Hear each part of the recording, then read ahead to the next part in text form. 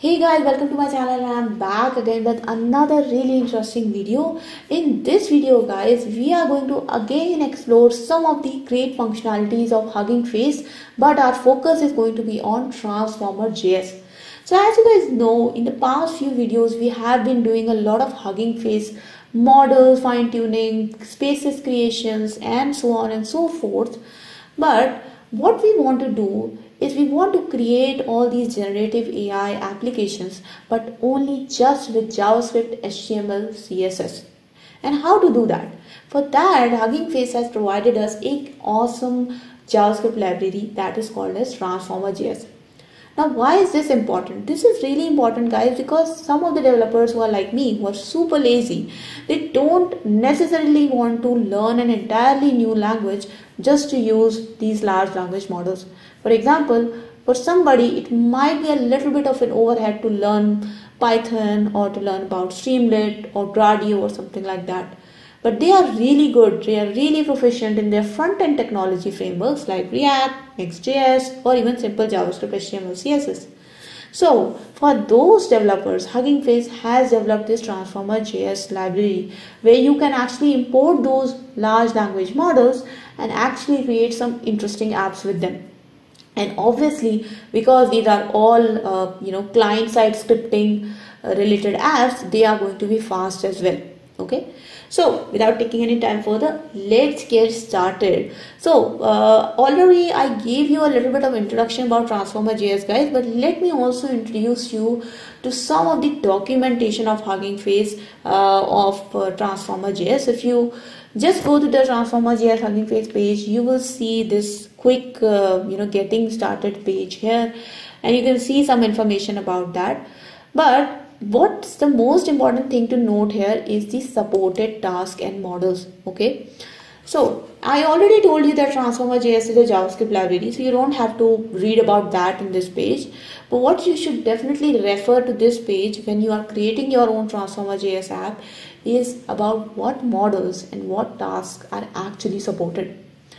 By that I mean guys is that although Transformer.js does support a lot of large language models in its library, it doesn't support all of them. So for example, you can see that in natural language processing, conversational models are not supported. So for example, if you want to use something called as Mistral or Llama and all these billion billion parameters model that can help you, uh, you know, create a conversational chatbot, you will not be able to do so.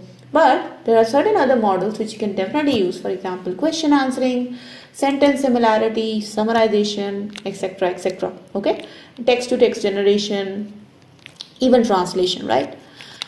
Now comes the interesting part and that is the multi-modality features of Transformer.js. So Transformer.js not only just support text-based models but the good thing is that it supports vision and audio models, tabular models and other multi-models as well. So if you guys have seen my previous video, I did a very small, uh, you know, object detection app, the Transformer JS, and I showed it to you. And that is a sample app which you will always get when you are going to create a Transformer JS space on Hugging Face. That's a default app that you will get, and it's actually using a vision model. Okay. And now comes the audio model. So obviously you can see there are a lot of uh, you know speech recognition models that are mentioned here so you can use them to create your own transcribe uh, app audio transcription app. Then you have got your tabular classification and your you know multi-model uh, based models as well which include document question answering feature extraction image to text etc etc okay so definitely this page is really important guys and i will put the link of this page in the description below so that you can refer it when you are creating your own transformer js app. So that was all about the introduction guys. Now whatever we want to explain we are going to explain it through our code. So let's get started. So first thing first guys I want to show you the bot which I already made and you can see that it looks like that in Hugging Face space right now but we are going to create this app and on our local machine and then we are going to see how it works on our local and exactly it will be working on Hugging Face space as well. Okay? So let's see. Now I will actually jump through all the boilerplate code for you guys. So you can see here this is my Visual Studio. And I have this HTML file which is basically that is going to render our bot. Then I have got a JS file. And that JS file is for now it's a very simple JS file. So what's going to happen here is that you have this chat box. Okay so if I go to my index.html this is the chat box and this is the input where you will type your message.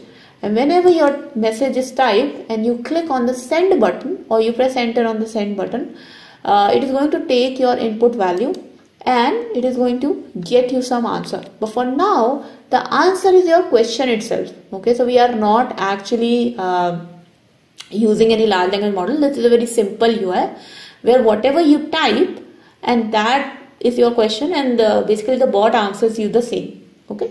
So now we have to see how it works on our local machine. So let's go and try to run it.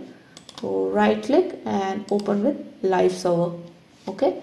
Now you can see here that uh, it looks a little bit like this. So if I you know write hi and I click on send the bot will also say hi to me. If I say how are you? it is not going to actually answer my question but it is going to repeat what I just said. Okay? So this is a very simple bot and we have not added any transformer JS to it. Now it's the time to actually add a transformer JS okay? I hope you guys are excited about that. Let's go back to our code. Let me close this window. Let's go to index.js so first thing first guys what we have to do is we have to import from transformer.js something called as pipeline okay? What is a pipeline? Now first of all let me import it for you guys. So this is the pipeline okay? So what is a pipeline guys? Basically, uh, in case of pipeline, if I show you the transformer.js page, it explains it here really, really well that this is a medium to actually load your models. Okay. So let's say you have got your pipeline object or pipeline function in your Python as well, right? And what that pipeline function does, it also loads your model, loads your prompt, gives you know sorry uh, loads your model loads your context and then you can use that object to actually do any prediction to give you any answer right and it's exactly same in javascript also it works the same so you can see the python pipeline is almost identical to the javascript pipeline okay? So now let's go back to our code. So the first thing is that you have now imported your pipeline okay?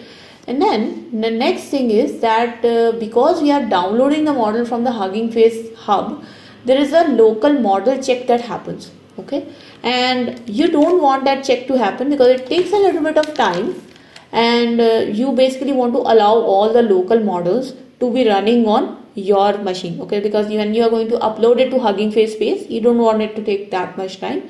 Because Hugging Face hub has the model locally, so you just want to you know run it quickly as quickly as you can okay? Now we have imported the pipeline we have our environment. It's time to actually use this pipeline to load our model okay?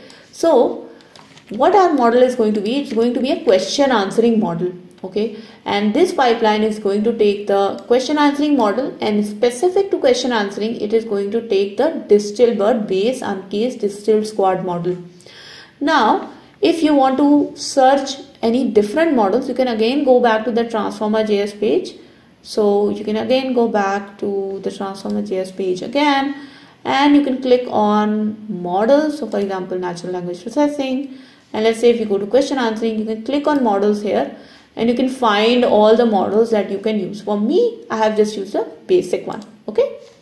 So now let's go back to our code. So this is the model and you have loaded it now in your answerer uh, object basically now now it's the time to actually use this answerer uh, model to answer right so we are going to actually go to this uh, function called as get answer because this get answer function is the one which is actually populating the chatbot answers you can see a chatbot answer is being populated here so first thing first is right that this is a question answering model. So because it's a question answering model, you need a context or some text for it to answer your question, right? So for me, I am going to create a context object and that context object is basically going to have information about two youtubers namely uh, Mr. Beast and PewDiePie, one of my favorite YouTubers of all time.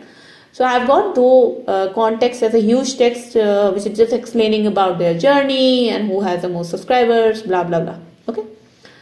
So now this is our context, right? Now it's the time to actually use this context and answer our question. Now we just do constant and that becomes our output becomes equals to await and then use your answer uh, object which you created before.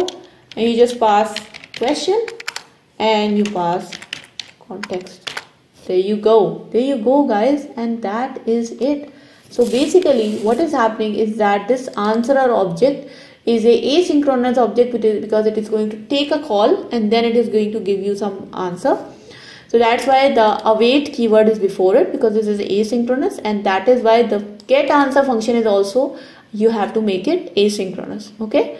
But once you get the answer it is populated into this output and then you can replace the question value here with output dot answer. Okay? Now what's happening here is that just to explain you we have got our context you have your uh, answerer object which is taking the question taking the context giving you the output and this output has basically a object called or an attribute called as answer which you can write here. And it also has some probability as well but we don't need that. We just need the answer. Okay? So let's save this. And now let's look at it a bit. I think this looks okayish. And let's run this code and let's see if we get any errors or not. Hopefully not. But if we do get it's fine. We also will debug it Sorry guys, there is one more thing that I have to mention here that when you have the JavaScript something called as uh, something like this where you are importing the pipeline then you can't use this JavaScript just like that. You have to make the JavaScript type as module. So always remember that when you are using transformer.js in your HTML file, when you are importing the script tag, you have to make the type as module. Okay. Now let's right click and open with live server. So now I have got the live server open here and I will just say hi who is Mr. Beast. So that becomes my question because that's the context I have provided. Okay, so it doesn't give uh, the correct answer. Uh, who is the most popular YouTuber? Let's see. So okay, and then how many subscribers does he have? And and you can see here guys that this is a question answering bot so the context which I provided was about Mr. Beast how many subscribers he has. And then it gives me the correct answer. So who is the second most popular YouTuber let's see if this is able to answer it. And it says PewDiePie how many subscribers? How many subscribers PewDiePie has? And you can see that it gives me the correct answer. Out of that context that PewDiePie has got 111 subscribers whereas Mr. Beast, the topmost YouTuber, has got 116 million subscribers and that is great guys. Hopefully one day we will also get uh, these type of subscribers. But for now we can just be delusional and I can actually change this bot to not say Mr. Beast has this much subscriber. I can actually change it to say that super lazy coder has these many subscribers. And you can do the same for you guys. You can be delusional. You can create your own bots. You can do whatever you want with transformer.js and you can see guys how quickly I was able to do that with just few lines of code, you have created your own question answering chatbot. Now, for some of you guys might be interested in the entire code of this. I actually will show you how I actually coded this and that's a cheat as well because I use ChatGPT. There you go, you guessed it. I just told ChatGPT that it is an expert in web development and it can design HTML applications using CSS and JavaScript and you can see guys that it was giving me the entire code obviously i was changing my prompts i was changing uh, the code based upon my requirement and make it look like this but you can see that ChatGPT was able to do that for me. So you can also do the same. You can actually go to ChatGPT, create your own bot code and just integrate Transformer.js like I just showed you and create them you know conversational and large language enabled or AI enabled. Okay? Now after this guys once you have created your own transformer JS bot obviously if you guys have seen my hugging face spaces video it is pretty easy to actually upload this bot on transformer.js all you have to do is go to your profile uh, go to new space you know create a new space. So i'll just give any dummy name for now. And you know any dummy name you can give. And just go to the static template and select the blank template okay? Select the blank template take this git repository clone it on your system just replace the entire code with the code that I just showed you and upload it. And once you have uploaded it and you go back to your space and you open your space for example I'm gonna open it right now you can see that now you have the exact same bot running on a hugging face space guys. How cool is that? Now I can ask on hugging face space. Who is the most popular YouTuber? Okay. And I can ask the bot. And you can see this bot actually now is working on Hugging Face Space.